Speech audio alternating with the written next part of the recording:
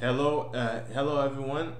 hello everyone. This is John Jenkins, and I'm bringing you a video. So, I'm working on the second half of my universal uh, number base converter, and I, I know what you're gonna say. There's like there's like a million number base converters on on the internet, so I could probably just you know get a tutorial or something like that and just learn learn from the tutorial. But I want to learn from scratch. So I, I, I, was able to get uh, a couple of years ago. I was able to get the first half done. I was able to get the first half done a couple of years ago, and so I can I can I can convert from any number between uh, base two and base thirty six into base ten. I can convert any number from base two to base thirty six into base ten, and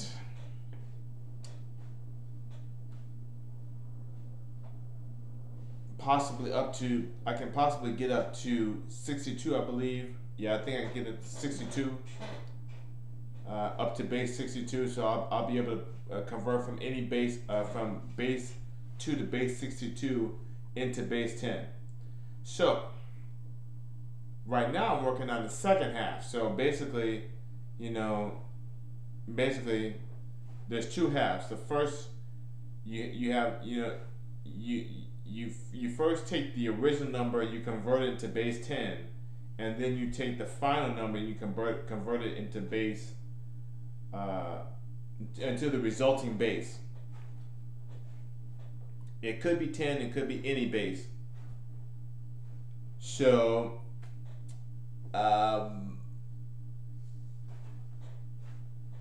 so so I'm working on it right now. So here is my thing that I have so far. Uh,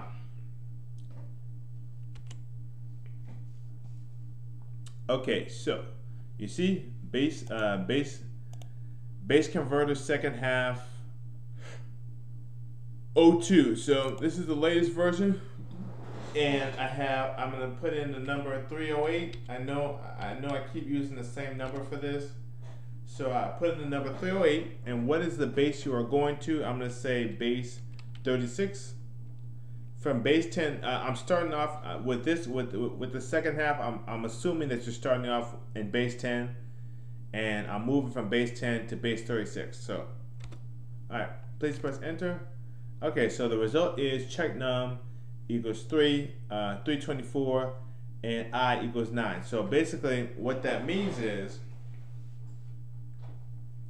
as you can as you can tell, as you can probably tell, I'm using a for loop.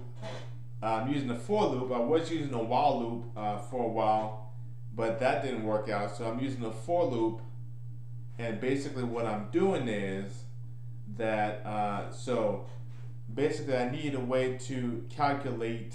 I needed a way to calculate to, to convert from base 10 to base 36. And the only way to do that was that I had to uh, add I had to add uh, powers of the base. So, so basically, basically, I had to add up. I had to add up the. I had to add up the numbers until they were higher than the original number, so that I would know. So that I would know uh, how. So that I would know the best way to so that I, would be able to calculate so I, so that I would so I'm, I'm adding up the numbers to to surpass the original number so that I can see how to convert the original number into the new base. So so so so this is base 36. So this is base 36 and uh, so 36 times 36 equals 324. So, uh, I'm sorry, yeah, I'm sorry, 36 times 9. 36 times 9 e equals 324. So, 36 to the 36 to the first power, 36 to the first power times 9. I am I am I am cheating a little bit because I didn't start with 36 to the zero power because you know powers are uh, uh, uh, uh, number bases are zero index, so you have to start with zero. So so you have to start with zero. So but I, I started with one because I knew for a fact that uh, 36 to the 36 to the zero uh, would just be one, and the, the maximum in, in the in the maximum number in the zero uh, the zero power would be 36. So there's no way that you know I, I knew I knew that you know I knew that basically that 324 was the closest to uh, uh, uh, 308. So that was the reason why I skipped straight to the first power of 36. And uh, so uh, the first, so it's, it's the first power of 36 times 9 equals 324.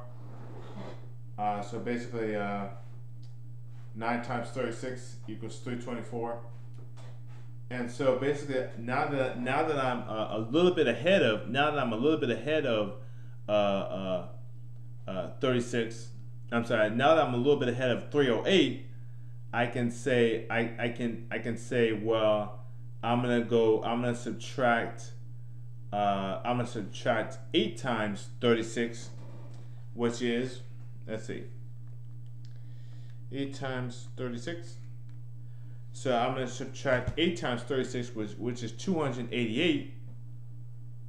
And then I'm going to have 20 left over. So I'll have in, in the, in the, in the, uh, in the, uh, uh, so in, so in base 36, I already, I already know the answer to this question. In base 36, the, uh, in base 36, 308 would be 8K, 8K.